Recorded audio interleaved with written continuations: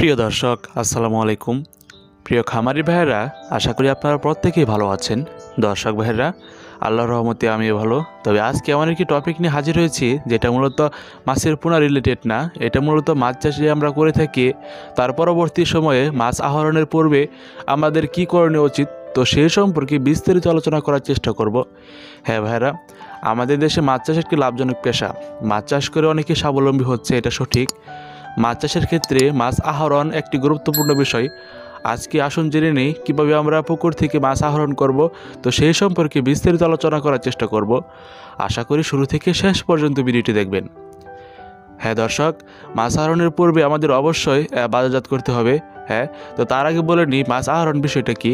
আমরা যে রেণু পোনা বা পোনা চাষ করে মাছ একটু বড় করে থাকি, তো আহরণ করে যেগুলি আমরা বাজারে বিক্রি করে থাকি, অর্থাৎ বাজার উপযুক্ত মাছ আহরণের পূর্বে বা আগে আমাদের কি করণীয় হতে, করতে হবে যাতে করে আমরা বাজারে ভালো মূল্য বা দাম পেতে পারি, তো সেক্ষেত্রে আমাদের কি করণীয়? হ্যাঁ দর্শক, মাছ চাষের পূর্বে মাছের বাজার দর অবশ্যই আমাদের যাচাই করতে হবে। মাছ আহরণের পূর্বে আমাদের ক্রেতার নির্ধারণ করতে হবে। মাছ আহরণের পূর্বে জাল বা জেলে ঠিক করতে হবে। অনেক সময় দেখা যায় যে পুকুর দিয়ে আমরা যে পুকুরের মধ্যে আমরা জাল নামিয়ে জাল টান দেওয়া হয় পুকুরের মধ্যে, ওই জালের মধ্যে যদি ছিদ্র থাকে, ওই ছিদ্র দিয়ে আপনার সকল মাছ বেরিয়ে যাবে। তাতে হবে কি? আপনার জালের ভাড়া দিতে গুনতে হবে, তাছাড়াও আপনার লোকসানের সম্মুখীন হতে হবে। তাহলে হবে কি? আপনার মাছ আরোহণের পূর্বে আপনার জাল বা জেলে নির্ধারণ করতে হবে, সঠিক। হ্যাঁ দর্শক, মাছ আরোহণের পূর্বে পরিবহন ব্যবস্থা ঠিক করতে হবে। মাছ আহরণের পূর্বে পুকুরে বিদ্যমান জলজ আগাছা ডালপালা অপসারণ করতে হবে। হ্যাঁ দর্শক তার একটি মাত্র কারণ হচ্ছে আপনার অনেক সময় দেখা যায় আমরা পুকুরে আগাছা বা অতিরিক্ত ডালপালা ঝোপঝাড় ইত্যাদি বিরাজ করে। তবে এগুলো যদি আপনারা অপসারণ করে মাছ আহ, আহ, আহরণ করতে যান তাহলে হবে কি আপনাদের মন প্রফুল্ল থাকবে এবং মাছ আহরণের ক্ষেত্রে আরও একটি নতুন দিগন্তের সূচনা হবে।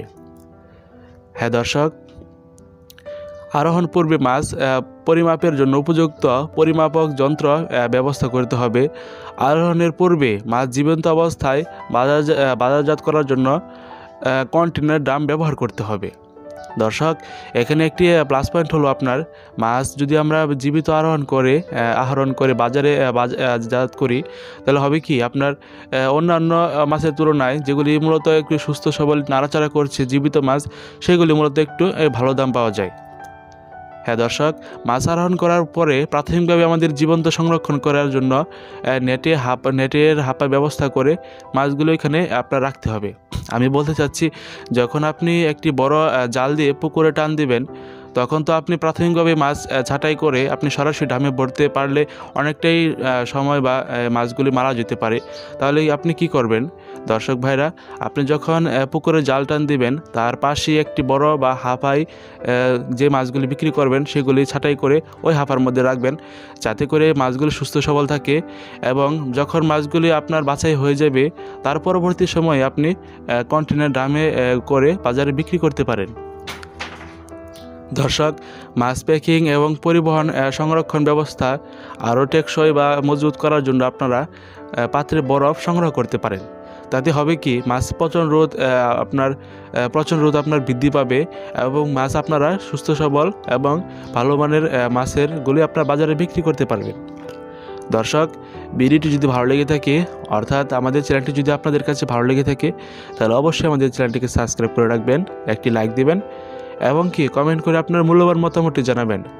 আর হ্যাঁ দর্শক, আপনাদের যদি কোনো ব্যক্তিগত মতামত বা অভিমত আমাদের সাথে শেয়ার করতে চান, তাহলে অবশ্যই আমাদের কমেন্ট বক্সে রেখে যেতে পারেন।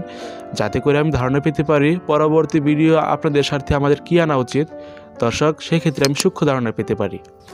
দর্শক, আপনারা ভালো থাকবেন, আমার জন্য দোয়া করবেন। আসসালামু আলাইকুম রহমতুল্লাহ বারকাতুহ।